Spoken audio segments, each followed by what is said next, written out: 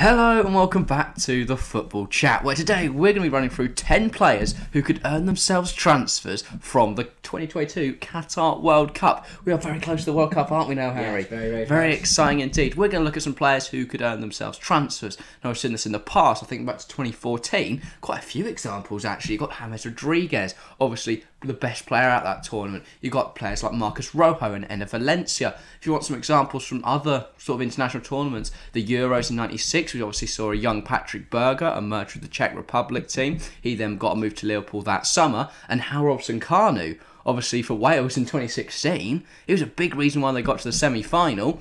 And he actually got moved to the Premier League from the Championship off of the back of that. So pick up Hal Robson-Kanu. But yeah, without further ado, let's get in to our 10. In at number one, we have Jonathan David. Now, of course, the Canadian striker, the 22 year old, has been killing it at LOSC Lille this season. Harry, do you want to give us some of his statistics? Because they are I ridiculously mean, he good. has been absolutely flying, especially in the league. 13 games, 9 goals, and 3 assists. For the young Canadian, and if he can carry that form, which he is going to do, into the World Yeah. Cup, he can be really good for Canada. Yeah, clearly rated very highly, a 7.74 average FotMob rating. And for Canada, he's no slouch either. 34 appearances for the North American side, 22 goals. That's a fairly decent return, considering they've plus played some tough games in there. You know, North America, as much as people look at it as like a worse continent for football teams, you've still got Mexico, you've still got the US. Jamaica can always offer a challenge. You've got clubs like Panama who went to the last World Cup. They're certainly not easy games they had to play on the way to qualification. I think if you look at their group as well, Canada, Belgium, Croatia, and Morocco are the three teams joining them in Group F. I think they can get through. Do you? I, I do. It's be very tough. You ask me, I, I think Belgium will top it, and I think it'll be between Canada, Croatia, and Morocco. I, I think this is genuinely spot. the toughest group. I think you could be wrong there. I think Belgium could be the shock here. No. But a lot of people say France, you know, they're going to be shockingly knocked out. I think Belgium This is don't look as aren't as strong as people think they are. this is Belgium's last year, I think, of their golden generation. And I think they're going to flop hard. I do. Fair enough. I think they're going to flop really As hard. Canada, and I then think maybe they Canada Croatia get through. get through.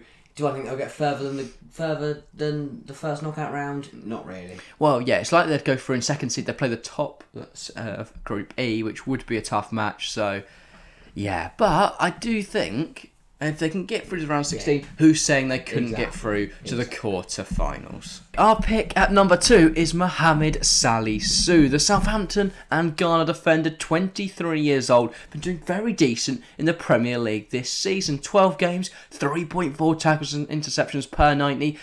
Zero goals and zero assists, but that's all right, isn't it, Harry? Yeah, he is a defender to be fair to him, and Yeah. that tackle ratio, tackle interceptions per ninety ratio at three point four is very very good. Saying he is the Sensational, yeah. Southampton side that it's fair to say haven't done too. Just have to make a lot year. of tackles and interceptions to Very be much fair. Six point nine seven average foot of rating is very, very high. Yeah, that's good to say. Considering Southampton have been on the end of uh, a few bad results this Yeah. season. He's only capped two times by Ghana, so it's a bit of a rogue one because, in all honesty, we're not sure whether he'll start at the tournament or not. They've got a very strong side, Ghana. Just looking at some of the players in this team now. Inaki Williams recently declared for them. The same for Tariq Lamptey. He's now declared for Ghana. You've got Mohamed Kudus. You've got both uh, Jordan and Andre Ayew. You've got uh, Felix Afena-Gyan and, of course, Sulemana. Kamaldeen Sulemana at Rennes. So a lot of a plethora of talent, really. Yeah. Is there a place for Salisu in the side? You reckon? I think there could be. I definitely think there could be, and all it takes, say, an injury or something. Well, yeah. I mean, at the moment, Daniel Amartey usually lines up at centre half. I So would start Salisu over Marty. you certainly would. But going into an international tournament, you're not going to play experience potentially. I don't know. It'd be interesting. But if he does play, I think he will start. I think there's a good chance they could get out of the group. Now, obviously, they are in a group with Portugal, South Korea, and Uruguay. And if you asked me a few weeks ago, I'd have said it's going to be very tough. South Korea now, though, they're not going to have Heung-Min Son. That Yeah. does limit how good they are I by a significant amount. I think Uruguay. Incredibly underrated, but Yeah. I don't think they've got like the Darwin Nunez is probably going to start up front. He's good, but Nunez. and he could have a brilliant tournament. But it'll be interesting to see. Portugal should top. that Have got brilliant midfield. Portugal, as you say, uh, yeah, sensational. I, we'll get on to them in just a moment. think but- Ghana can nick second there. Yeah, I think Ghana can make a good go of it. If they do that, then it's likely they'll probably, if they're second, they'll probably play Brazil. But yeah. You never know, do you? You Never. never know. But yeah, they could get a good result from that. On to the next one. Our pick at number three really doesn't need any introduction. It's Cristiano Ronaldo. Now, you might think this is a bit of a strange pick, you know, top 10 players who could get a transfer at the World Cup. But if you think about it, he's not having the best time at Manchester United. I think this tournament could be perfect for him to springboard and move elsewhere, don't you? Very much so, and I think you are right. He has had a terrible start to season United. He's barely played, and he, he's all been Yeah. caught up in loads of controversy between him and Ten Hag, him and other players. You name it, and I think he does need to move away, and the World Cup could be a perfect chance for him to do that. Yeah, it certainly could be. Just the nine games this season, when you see only three starts, mm. it really is in stark contrast to what you expect from Cristiano Ronaldo. One goal.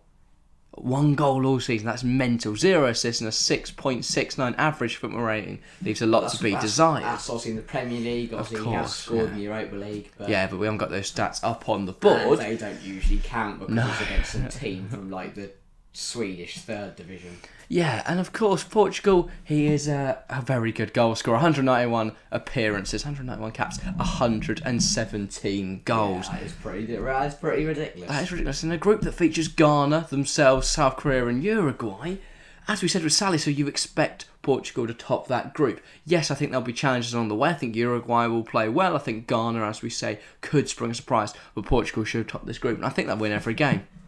Yeah, they should probably. They certainly should. On to the next one. This next one, we are cheating a little bit. We've gone for Edson Alvarez. Now, you might wonder, how we cheating there? Well, heavily touted with a move in the summer to Chelsea. It looks like, regardless of his performance at the World Cup, he will get a move, but I thought we'd include him here, because I think he will perform well, don't you?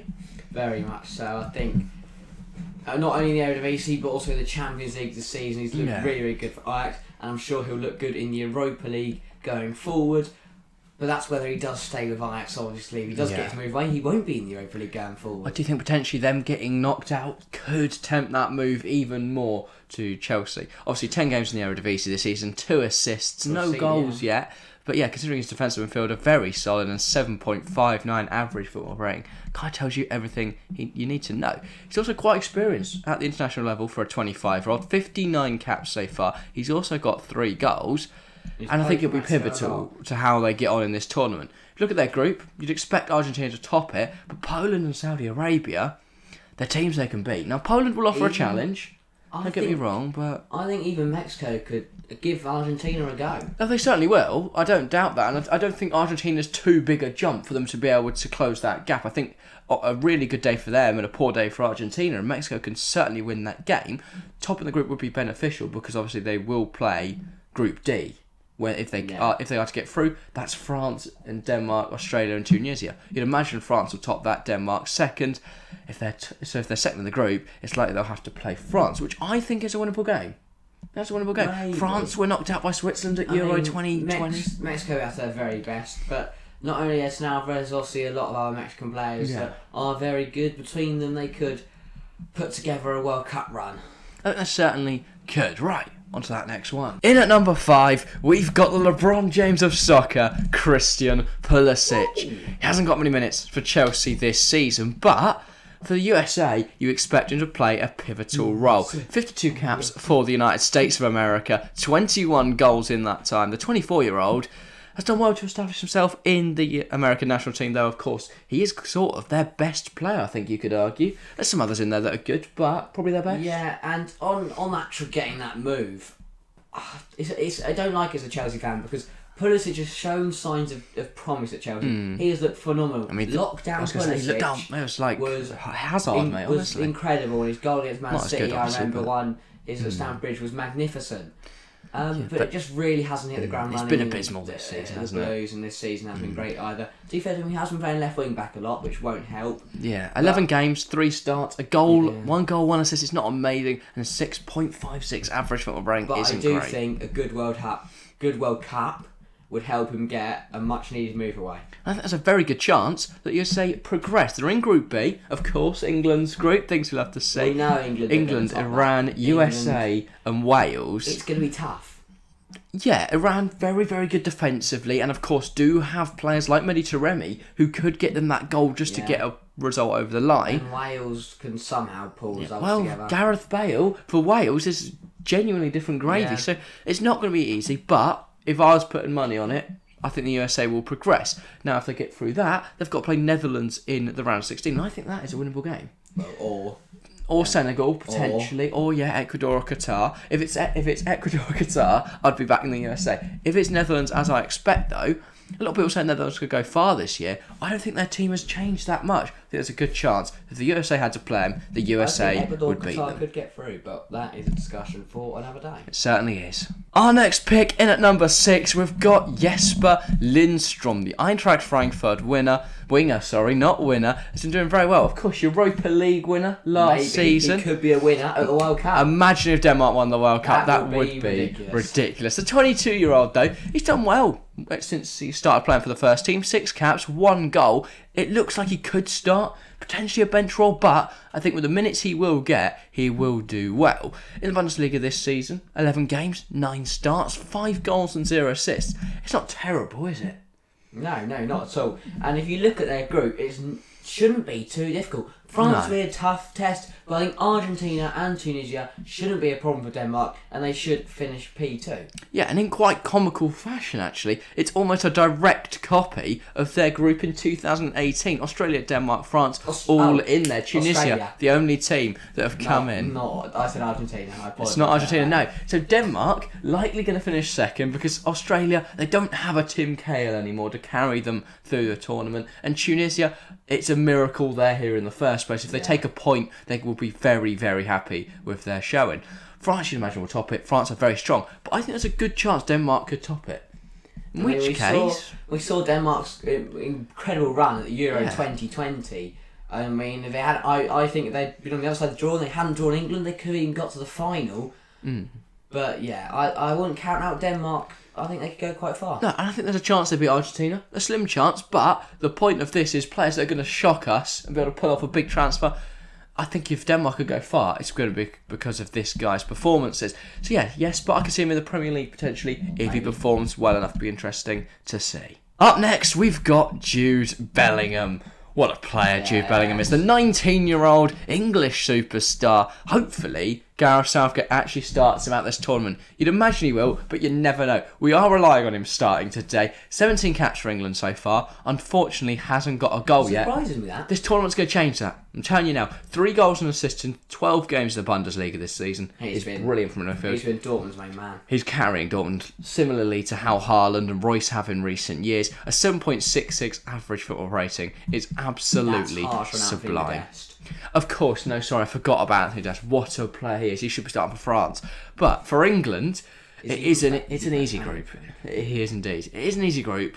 Iran, USA, Wales. This should be a We should top this comfortable top. nine out of nine, and Jude Bellingham's going to Yeah. lead us to World Cup glory. It's coming home, ladies and gentlemen. Round of 16 then, we'll be fa- if we're top of the group, we'll be facing probably Senegal, Ecuador, most likely. Could be Netherlands if they have a tough tournament. Who? All winnable games there. It's a really nice path into the quarterfinals where France are a team I think we could beat. Or, as I just said with Jesper Lindstrom, I think we could even face Denmark there. And we've shown we can Yeah. beat them, as we did in the semi finals. We all know how that ended, but this time it's going to be different. England for World Cup glory. We're going to win. On to the next one, though. Our eighth now is Daichi Kamada. This is a player that has absolutely stunned me this season. Didn't really know too much about him last year. Obviously, was involved in Frankfurt's team as they went on to win the Europa League. And the 26-year-old has had a brilliant, brilliant season. Do you want to run me through some of his amazing stats? uh, in the Bundesliga alone, nine starts, seven goals, two assists, with 7.6 average shot rating. That's ridiculous. It's a contribution per start. that is, that is very, that's very absolutely ridiculous. In the UCL, it's, it's amazing as well. Six games, three goals, no assists, but a 7.41 average FotMob rating. In the attacking mid role as well for Frankfurt, absolutely brilliant numbers. And of course, he has helped guide the uh, the side into round 16 of the Champions League, which was is massive. close, but they pulled off some big run, they did indeed, yeah. Big goals against the likes of Tottenham and Sporting, and That made a difference. Like, he's good at a club level, but he's also very, very good at an international level. Yeah, 21 caps, 6 goals so far for Japan at the World Cup. it's a tough group, but it's a group they could do something with. They've got Costa Rica, they've got Germany, and they've got Spain. It's going to be tough to get. It certainly is. Germany and Spain are the favourites. You'd imagine Costa Rica fourth, Japan third. But there's every chance this Japan side could pull off an upset. Now, Takefusa Kubo would have been a player that we put in here over Kamada Yeah. potentially, but he is out for the tournament. I think that makes Japan's chances even lower. But I do think maybe a Kamada goal here, maybe a penalty. We know he's brilliant from the spot. A bit of luck and Japan could get out of this group. Yeah. I think the only place I could see for him going, like an improvement, I don't know if he would get a Prem move. I think maybe a higher, think- bu- higher Bundesliga move, which don't get many of them, to be fair. I don't think that he will move in January because Frankfurt have got Champions Yeah. League football. But after that, I don't know. I could see your lads. I could see Aston Villa going in for him. I think it'd be a nice fit potentially.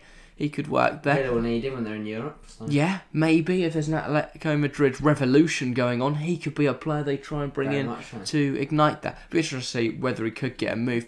But right now, at least in the January transfer window, I don't think there's an improvement unless he has a really stunning World Cup. But I think he could do. So you never know. Our penultimate pick is Ismail Sarr, the Senegalese winger, 24 years old.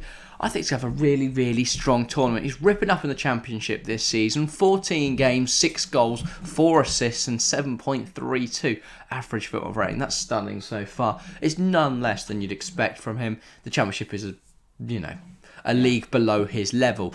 As for Senegal, 36 caps, 10 goals, and I think this Group A is something he can really, you know, perform well in. What do you think? Very much so. I think his championship form is very good, saying that Watford have struggled, especially towards the They're start only, of the yeah, as you say, they're only sixth in the league. Picking Bilic up- is now in charge. Picking of up form under Slaven Bilic now, and Hmm. Ismail Sarr looks to be back to his best. Also, we know he's Premier League proven. We know he's got the ability at international level. And as Yeah. you say, looking at the World Cup group, this is definitely a group that Senegal could top. Yeah, and uh, he'll probably play on the right of a three up front. And I, I know they don't have a great striking options.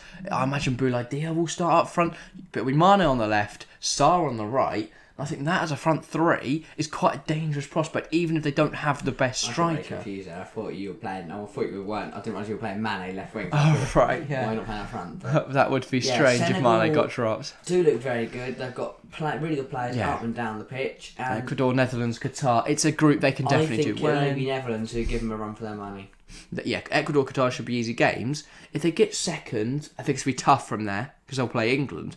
But if they get first, if they can beat Netherlands at the top of the group, they've got a really nice USA. game against either USA, Wales, or Iran, which is a, a easy game for the Senegal. Mm-hmm. I think that I think that's a really game's nice easy, draw. World Cup. Of course, Outside no the game group. is easy, but well, even I don't, I don't think a game against Ecuador is you know any easier than a game against US Oh no, no, that's more I mean. Like, or there are some Iran games in the group or where- Yeah, I yeah, of think course. Like Senegal- Qatar should be a formality, but Senegal, they should be aiming to top this group. I think they can. I think th- if I was going to say any bold prediction this year, it's that Senegal could be the first African nation to ever And win it. If But we, that's quite if we're bold. looking at where is my son moved to, Yeah. probably would be a prem move. You'd imagine so, but I do think a big international tournament like this is a chance for everywhere across the world to see his talents, even if it's just a move to say Villarreal or you know an Italian side. I think it could suit the Italian league well. He'd be a you know a burst, an injection of pace in a league that's a little bit slow at times. Munich. that's another place where he could absolutely flourish with teammate Sadio Mane. But yes, on to the final one now. The final player in our list is Ecuador central midfielder Moises Caicedo. Obviously, he is at Brighton. His domestic side is Brighton, playing in the Premier League this season. And what a campaign the young man has had. The 21-year-old has scored, has played 12 games, scored a goal, no assists so far, but he is a more defensive player. 7.31 average football rating. It's absolutely stunning, isn't it? Mean, yeah, it's been phenomenal for Brighton Yeah. this season. And I, I think it's really good to see, you know, players of nationalities we're not used to seeing in the Premier League really shine on the big stage. And if he can do it in the Premier Yeah. League, I'm sure he can do it in the World Cup. Well, yeah, I think people are kind of forgetting about Ecuador. They're sleeping on them a little bit. I mean, we just mentioned there Senegal should get through easily, but this is a, a golden generation for Ecuador. I mean, if you look at it, Moises Caicedo, Piero Hincapi, Enner Valencia's still kicking about. They've got. Pervis Estupinan. Fantastic left back. A lot of Brighton players actually. I think Sarmiento or Sarmiento or someone like that. It also plays Brighton. They've got a really decent side right now, and I think there's a chance The problem is, Ecuador could do something here. I don't know. This is my worry. Is that Ecuador look very good, yes, but can they topple Netherlands and Senegal? I don't think so. I think Netherlands could be a step too far, but I don't think Senegal is. But then I would say that for Senegal, Netherlands isn't a te- step too far. So is there an- every chance that maybe Netherlands drop points at Senegal and you know get knocked out on goal difference here if Ecuador can win two of their maybe. games? I don't, I don't know. But there's every chance the Netherlands have a bad tournament. You never know. I mean, and I do Senegal think could be worse than we think they are again. Yeah. Certainly can. If Ecuador, if there was somehow they could top the group, I think they could easily then get through to the quarterfinals, which would obviously be I the furthest the country's ever I'd like got. to think this is maybe a bit, bit biased, but I think any whoever finishes second at this group will Yeah. most likely play England, and I would think they would struggle. Yeah, Ecuador's best chance here is coming second and hoping England don't finish Yeah. top. But yeah, 25 caps, two goals for Moise Caicedo. I think the most likely destination is probably Chelsea. We mentioned him a lot today. Edson Alvarez for Chelsea. We mentioned Pulisic, obviously leaving Chelsea. Ronaldo's another one that could go to Chelsea. I I hope not. But Moise Caicedo, it Yeah. seems likely. Four boss mm. Graham Potter's there now. Chelsea are in need of central midfielders, as we've highlighted with Edson Alvarez. I think a move for the two of them in January, especially if they have good World Cups, doesn't seem out of reach. I think that's why we're going to call today's video. Brilliant little list. If you have enjoyed, get involved in the comments down below. It's a bit of a different one. We don't usually put in all these little jump cuts and stuff. We've got a little bit edgy today, a lot of editing for Harry, but yeah, hope you've enjoyed it. Thank you all very much for watching today, and we'll see you next time. See yeah.